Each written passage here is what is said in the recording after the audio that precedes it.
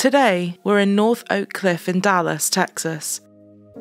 In 2020, it was home to James, who went by Jamie, and Jennifer Faith, who had been together for 15 years.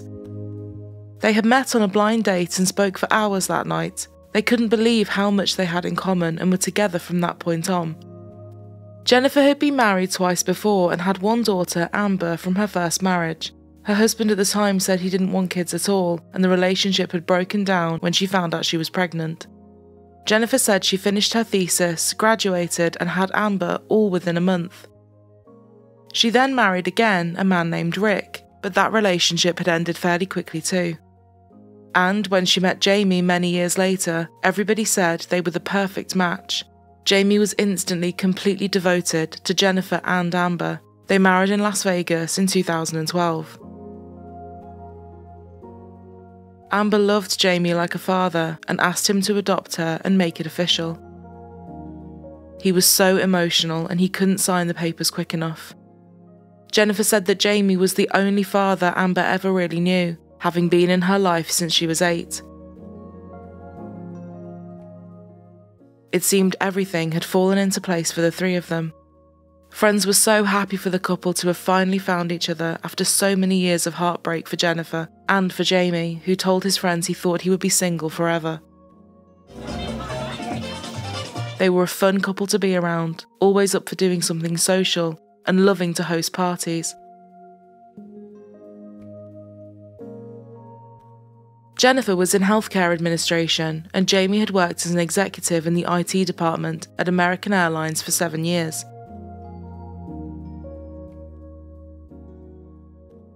His friends said computers and tech were his thing going back as far as school, and working his way up to a top career was always on the cards for him. He was a big gamer and sports fan too. Jamie and Jennifer lived a comfortable life and did lots of travelling together, so when US Airways and American Airlines merged and Jamie's job called for him to move, they were happy to do so. The Faith family relocated to Dallas, moving into a nice house on a quiet street the 1000th block of South Waverly Drive. They always got each other cute gifts and presents, whether there was an occasion or not, and loved any chance for a celebration.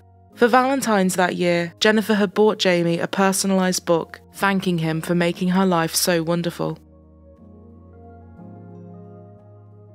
On October 8, 2020, the couple celebrated the 15th year anniversary of their first date, a huge milestone.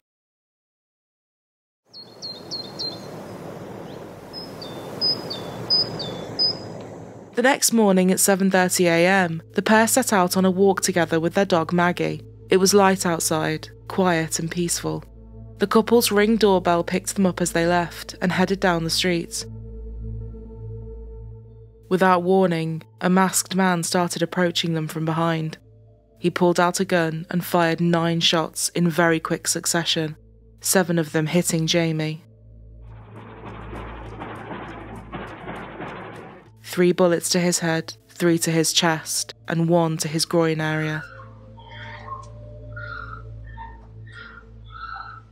Between the shots and Jennifer screaming, people quickly started coming out of their houses. What happened? The shooter then turned his attention to Jennifer, knocking her to the floor and duct taping her wrists. He then tried to pull her rings off and even made an attempt to attack Maggie. As Jamie lay on the ground, the man snatched off his wedding ring, got into a small black truck, and sped away. The smell of gunpowder filled the air as people stood looking in horror, many of them on the phone to 911. I hear the woman screaming for her life, hysterical. It sounds like a movie. So I hurry up and call the police saying, Hurry and come, I think my neighbor just got shot. Authorities got there fast, but there was nothing anyone could do.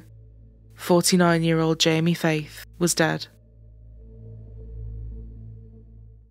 Neighbours consoled a distraught Jennifer outside. It was such a shocking and heartbreaking scene.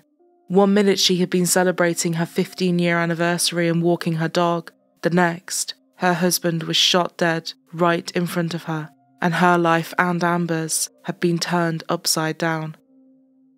A woman from Dallas is trying to cope with a sudden loss that no one should feel. Her husband was murdered on their morning walk, and she had to watch it happen. Tiffany Liou has more on the case that's shaken not only their family, but the community as well. On Friday morning in Oak Cliff, a husband and wife took their dog on a walk, like they always do. But that would be their last walk together. Dallas police say the couple was approached by a man in a mask on Waverly. He shot and killed 49 year old James Faith. Typically, that's not how robberies occur. Typically, they just want your property. Um, no one goes to that extreme. Police say the suspect tried duct taping the woman's hands together to steal the jewelry off her fingers, and they say he may have been trying to abduct her. Had a mask on. She believed he was a Latin male, heavy set. Um, he ran off when she screamed for help. They believe he left in a black Nissan Titan with a Texas Ranger sticker on the back window. So I'm asking the public to help us out. Police are desperate to find the killer who took the life of Jamie Faith. Homicides are horrible. It's one of the worst crimes that you can commit. And what it does to the family, um, you really just have no idea how it just tears a family up. His wife is devastated. She tells me he was her best friend. He was the best husband and best father anyone could ask for. But as upset as Jennifer was, the police had no time to waste, and she was swiftly asked to come in and give a statement. Turned around and I just saw this person shoot and shoot. shoot. I couldn't believe I didn't know why.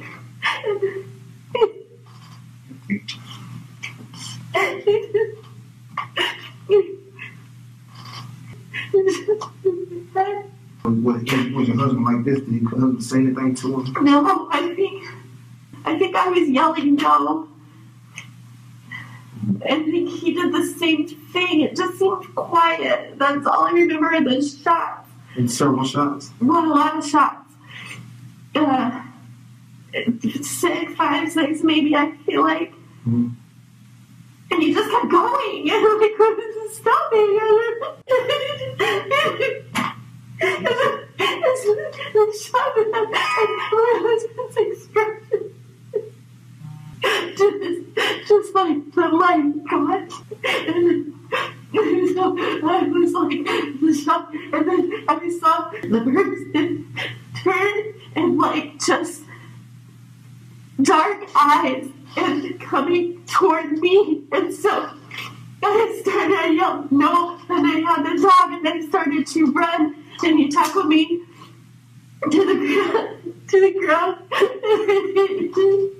then ran, and was getting my face. For something like this to happen in broad daylight was staggering, and no one could draw any conclusions as to who would want Jamie dead.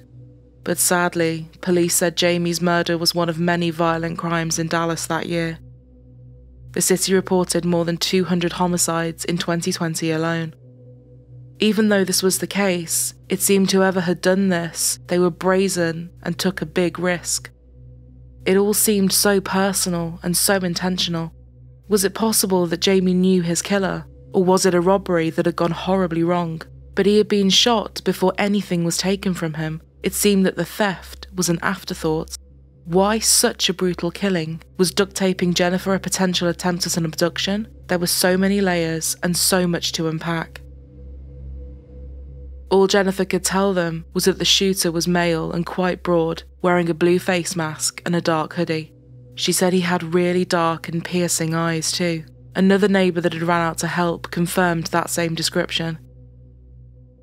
We got up, we did our normal good morning thing, and I heard running behind me, and I turned around, and then just shooting just started.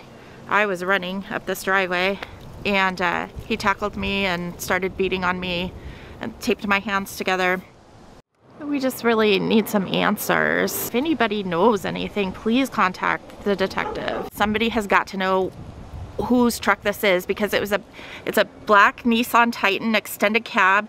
It had a um, uh, Texas Ranger sticker in the back window. And so it's it was very distinctive from that point. I'm sure they're overextended and spread very thin, but it doesn't it doesn't help me in terms of finding the answers that I really need. We actually had been here three years to the day we signed uh, for our house when this happened. So you bought this house October 9th, three years ago? Correct. Same day your husband is murdered. And the day prior to that, on October 8th, we had just celebrated being together for 15 years. Oh my God. If you know what happened, I need I need that for closure. I need to make some sense out of this. It's been horrible. Devastating. I teeter between completely heartbroken and completely devastated every day. Amazingly caring, very kind. He would give you the shirt off his back. My partner, my best friend.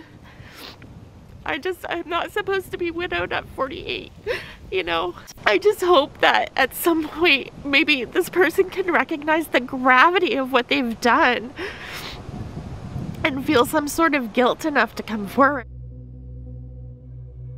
The only clues that the police had were that the bullets had come from a 45 caliber pistol, and the vehicle that was seen speeding away was a black Nissan Titan with a T sticker on the back a T they assumed stood for the Texas Rangers, making them think that the killer was at least living in that area. Detectives need any and all information that might be related to the case. A GoFundMe was set up to help support Jennifer with funeral costs and support hers and Amber's lives without Jamie. It soon raised over $60,000. The person organising it for Jennifer said she couldn't believe how fast the money was pouring in. Everyone wanted to help in any way they could. The neighbours took it in turns to make Jennifer meals and keep her company, making sure she was keeping her strength up and was never alone. Soon, more than 50 families around the neighbourhood were helping in delivering groceries and household items. Crime Stoppers raising the reward this week to $25,000, the murder of James Faith happening in front of his wife. Do you think, sir, that this was a random robbery or something more sinister? Right now, we know that the suspect did attempt to take property, but we're not going to limit any uh, uh, the, limit the motives behind this investigation. You know that black Nissan pickup truck, the one with the Texas Rangers decal behind the driver's side, or think you do? Call Crime Stoppers or call Detective Chris Walton. 214 671 3632. Help track down the killers of James Faith. Jennifer held two funerals for her husband one in Dallas and one in Phoenix. There were lots for people to take with numbers on to call in case they thought of something that might help with the case, everything from key rings and cards to coasters.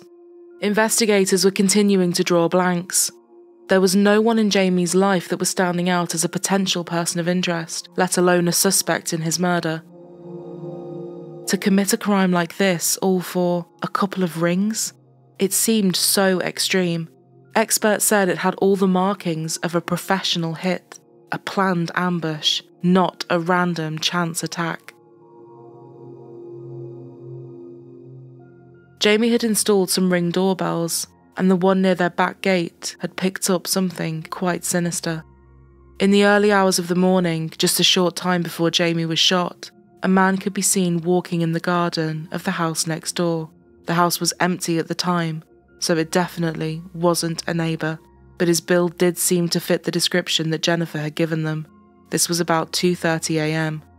Skulking nearby and watching the house of the person that would be dead just hours later gave the police grounds to conclude that this was not a random or impulsive robbery. This was a murder that had been planned. They needed to talk to Jennifer again to see if anything else was coming back to her, anything at all that might give them more clues. They asked to check her phone and she freely handed it over. It was here. They did find something of interest, but not at all what they were expecting. Authorities found a text she had sent to a friend talking about a man called Darren, someone she admitted to having an emotional affair with. Oddly, there were no messages between her and Darren at all, but they were able to find out his last name and where he lived. His name was Darren Lopez, and he lived over 600 miles away, just outside of Nashville, on a very vast and very rural property. authorities local to Darren Lopez learned that he owned the exact make and model of the vehicle they were looking for a black Nissan Titan pickup truck with a T sticker on it. They fed the information back to the police in Dallas and they coordinated an aerial search of his house and put him under surveillance. Sure enough, the truck was there. They obtained his bank and phone records too, and with these, suddenly everything started to move a lot quicker. Despite the fact there were no messages between them on Jennifer's phone, Darren had not deleted anything. Between September 20th and October 20th, just one month, Darren and Jennifer had exchanged more than 14,000 calls and text messages, hundreds and hundreds each day. And strangely, the only time they had seemingly not had contact was the day of Jamie's shooting. A whole 28 hour period was totally silent. On October 8th, the same day Jennifer and Jamie were celebrating their anniversary, Darren got his car serviced before entering Jamie and Jennifer's address into Google Maps. His phone was then tracked as he made the almost 12 hour drive to Dallas, Texas. His cards showed that he had stopped at some gas stations on the way to top up the tank, buy a Red Bull, and take out cash. As images of the truck were circulated with the all important T sticker on the back, Jennifer sent Darren a message with a link to an article about the case, which showed a photo of the T sticker on the truck. She said, I woke up in a bit of a panic. Something is eating away at me, telling me you need to take the sticker out of the back window of the truck. I don't normally overreact like this. Really think you need to get that sticker off ASAP, like today. The next day, Darren picked the sticker off but it was too late, as he was already being watched and police had clocked the sticker when they flew over his house. Darren and Jennifer were suddenly their prime and only suspects. The pair actually went further back than people realised. They had dated through high school and college, but broke up after Darren finished his basic training and was deployed to Korea. Jennifer moved on and married her first husband, and the pair lost contact. Darren would also marry and have four daughters, but in 2018 he and his wife had parted ways. Friends said after the split and leaving the army, he had become increasingly isolated. While serving, he had suffered a brain injury when a bomb at the side of the road in Iraq went off, killing 19 of his friends. When he left the army, he was dealing with post traumatic stress disorder, and this, coupled with where he lived and his ongoing divorce, meant his feelings of loneliness were amplified. His daughters soon moved out to live with their mother, and when the pandemic hit, his friends really worried that he would retreat even further. But Darren decided to use it as a chance to reach out to old friends. In March 2020, Darren made contact with Jennifer via an email he'd found on LinkedIn, seven months before Jamie was murdered. In his first email, he said he had been following her on social media for a couple of months. He talked about his life, his children, reminisced about their past together, and told him that she unknowingly helped him to get through 20 years in the army. He admitted he had wanted to write to her for a while and said he had been thinking of her a lot over the years. Jennifer replied a few hours later and seemed practically giddy about the email. She said she too had been searching for him. She even knew he had lost his father in 2015. Her email was far longer and more in depth than Darren's had been, and she was going into immense detail about every part of her life family, marriages, attaching pictures too. She signed her email off by saying, I'm certain you weren't expecting a book of response back to you, but once I started typing, I couldn't stop. I really hope you're doing well and you are happy. I have definitely missed you over the years, and there have been so many times I've wanted to talk to you. Thank you for being persistent in looking for me. Love, Jen.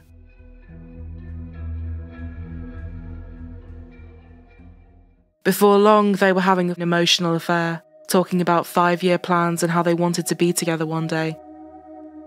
Jennifer called him her soulmate, but Darren said he was hesitant, and although there were feelings there, he didn't want to break up her marriage.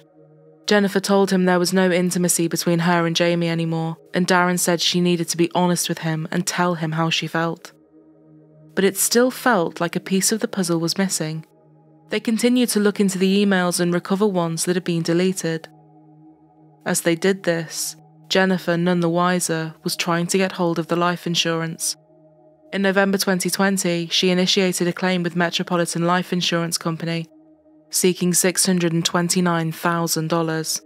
But she found out that until they could rule her out as a suspect, she was unable to withdraw anything. She sent Darren a text message, and the pair seemed confident they would get the money eventually and discussed buying a house together in Tennessee.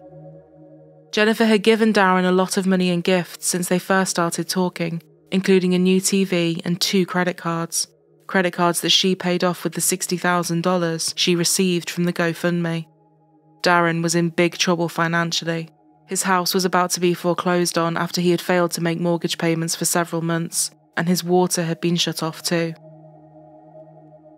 In one email, Jennifer wrote to him, Here's both of my major CCs. Amex has no limit, and I think the Visa has like $35,000. Please don't hesitate to use them for whatever you need, especially when it's stuff for the girls. As 2021 came around, the police finally felt they had enough to move in and arrest Darren, but before they did, they wanted to see if the pair slipped up any more. On January 10th, the detective set up a meeting with Jennifer. Before the meeting, she sent Darren a message and said, Don't text me Monday. I'm going to factory reset my phone on Sunday night after deleting texts. If asked about you, you are an old friend going through a divorce. We talk every night because I'm helping slash giving support with the girls, just in case they pulled phone records and ask. The next day, January the 11th, 2021, they showed up at Darren's house with handcuffs. Police in Tennessee arrested 48 year old Darren Lopez, this man here, on Monday, and he's now being charged with murder of a Texas man after police say he allegedly drove from Tennessee to Dallas to shoot his ex girlfriend's husband in October of 2020. The warrant describes Faith only as a witness. She didn't answer our call for comment Tuesday and isn't facing charges. He was arrested on a state murder charge and was charged with a federal gun crime. He pleaded not guilty to both and was held on a million dollar bond. In his house, they found the same gun they were looking for in connection with Jamie's murder, confirmed via ballistics testings and he had credit cards in Jennifer's name. Traces of Jamie's blood were later found on the gun, too. In his car, a blue face mask thought to be worn on the day of Jamie's murder was also found. Jennifer was spoken to again following his arrest, but she denied there was anything inappropriate going on between the pair, saying they were just close. But the woman who just couldn't stop talking was now very quiet. She'd been asking for help in finding her husband's killer for months, and now they had arrested someone, but suddenly, she didn't have anything to say. A week later, Jennifer transferred $118,000 from her checking account to an account belonging to an undisclosed third party. A few days after that, she asked someone else to send a message to Darren I've just needed to be cautious because every communication is being monitored. Please tell him ASAP that I will always be his. Darren responded via the same person and said, Please stay strong for us. The walls were caving in on Jennifer, and less than a month later, in February 2021, 48 year old Jennifer Faith is now facing obstruction of justice charges related to the murder investigation of her husband. A charge she pleaded not guilty to. But the investigation was far from over, and more was coming out by the day. They had been going through their emails and recovering them slowly but surely. It turned out that just a few months after they had started talking, things had taken a dark turn. As well as Jennifer emailing Darren from herself, she set up a fake email account under Jamie's name, and using this, she started up correspondence with Darren. The first email was immediately graphic and aggressive and detailed a long list of physical and sexual abuse Jamie had inflicted on Jennifer. It also included photos of alleged injuries. But it was all Jennifer, and the pictures would turn out to have come from stock image sites.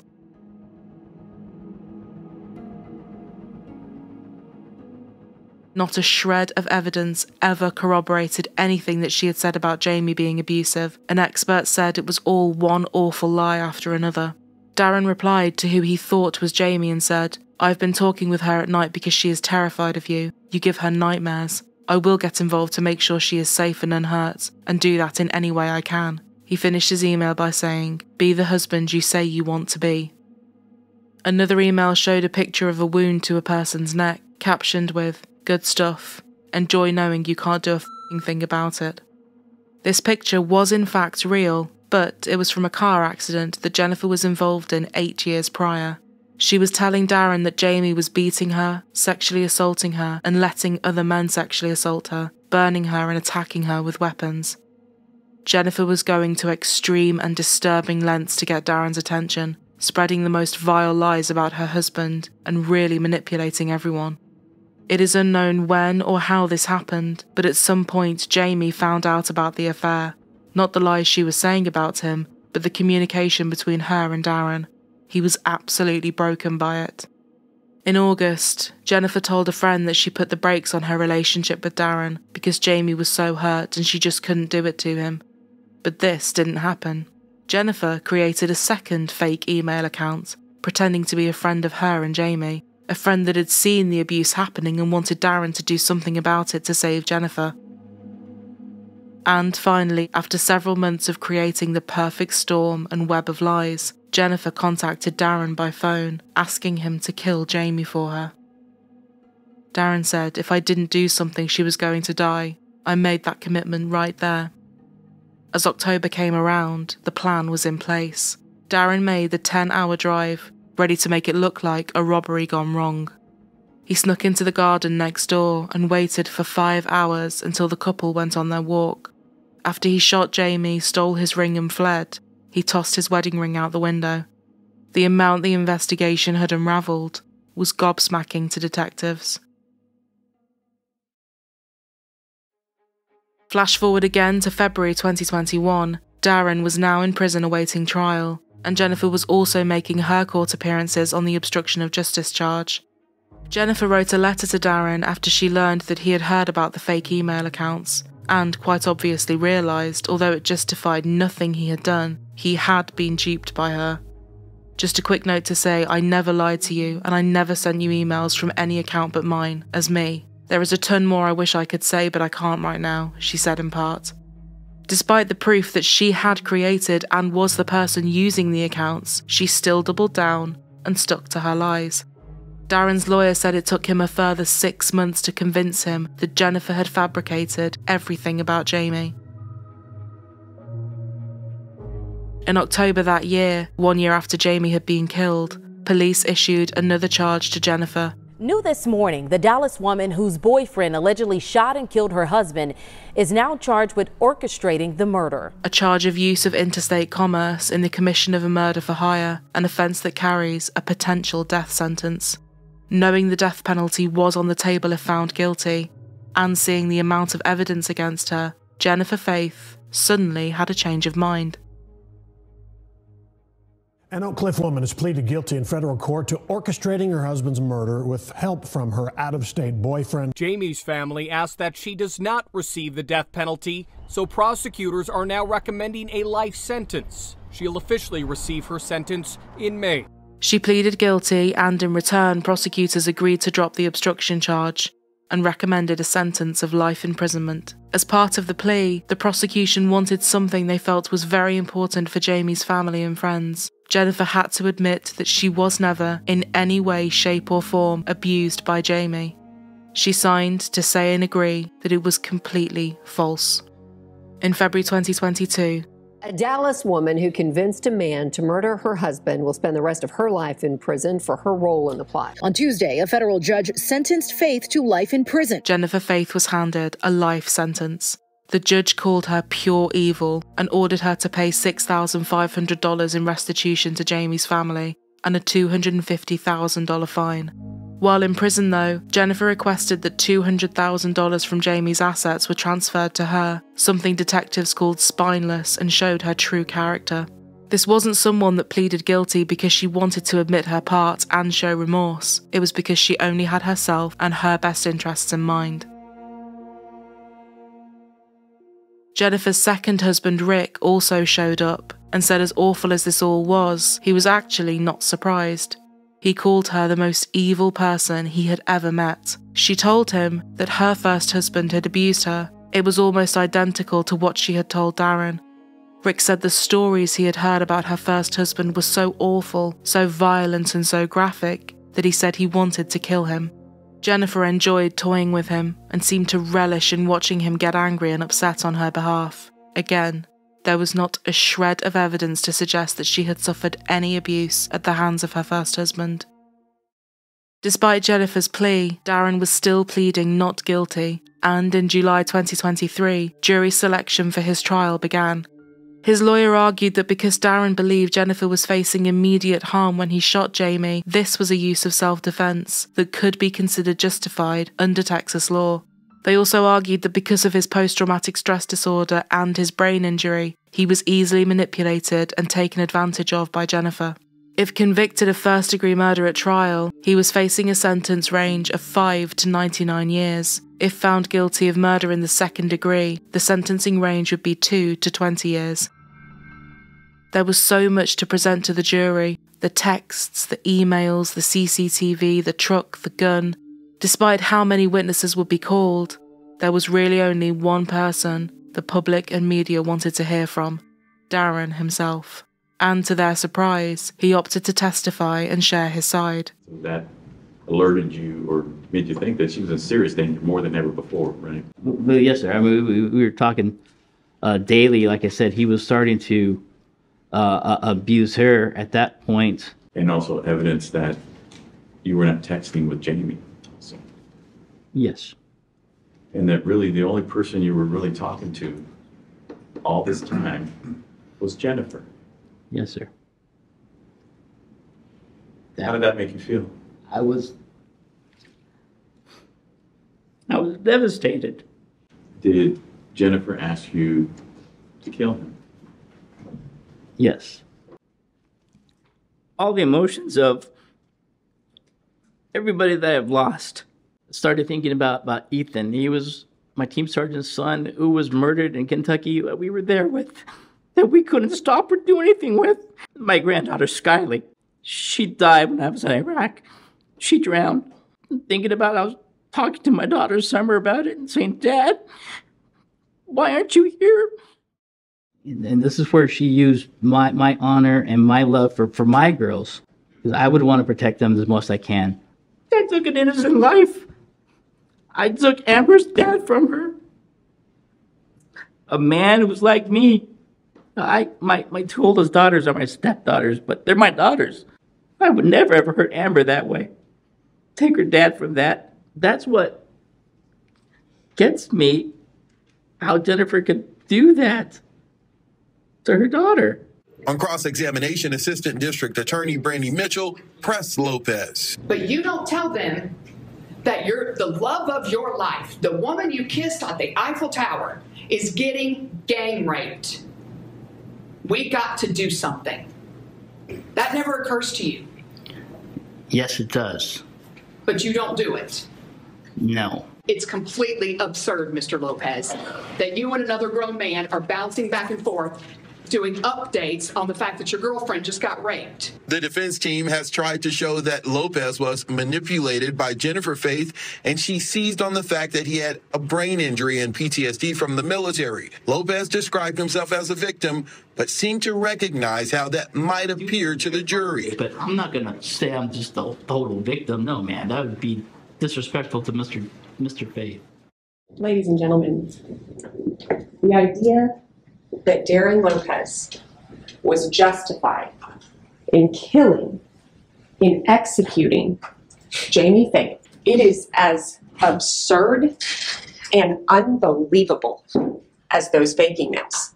Even if you give him every benefit of the doubt, even if you were to believe all of that, it still does not justify the murder of Jamie Faith.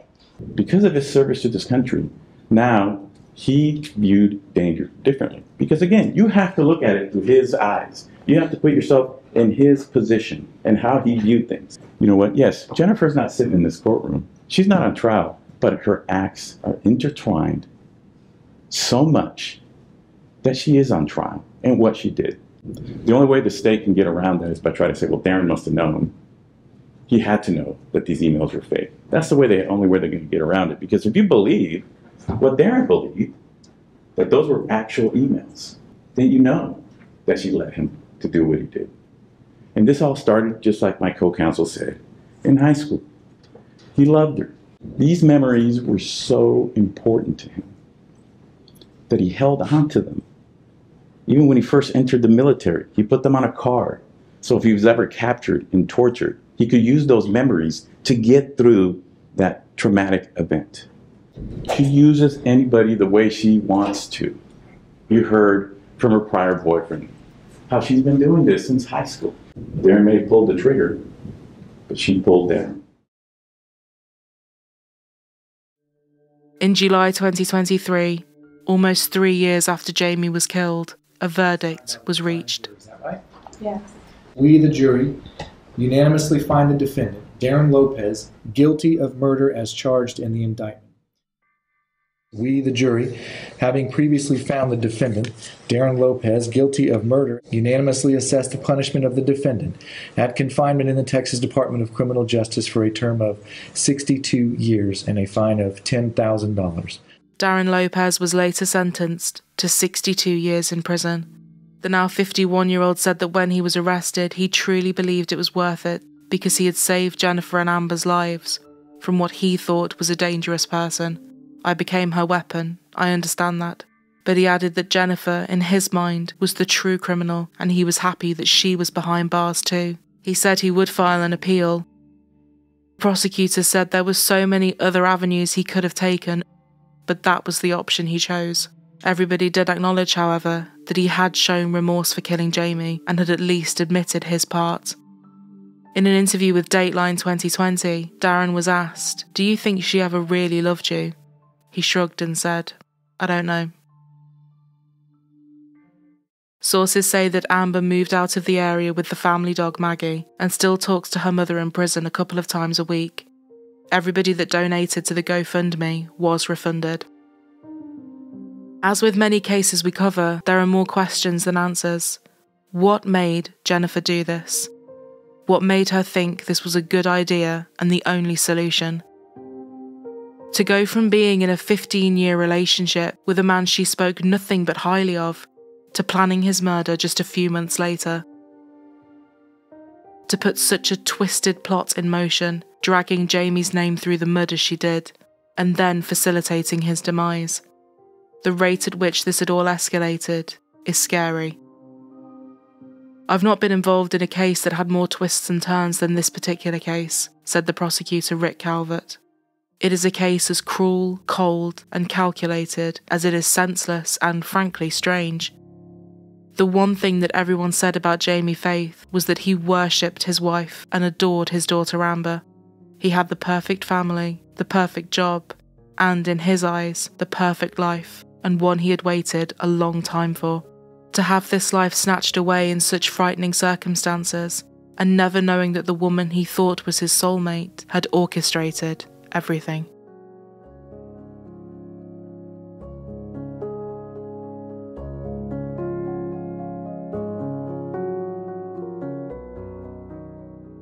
Thank you all for tuning in. If you would like to support our channel and help us to continue to make our content, we have a Patreon with many perks, including exclusive episodes, behind the scenes, and ad free early access.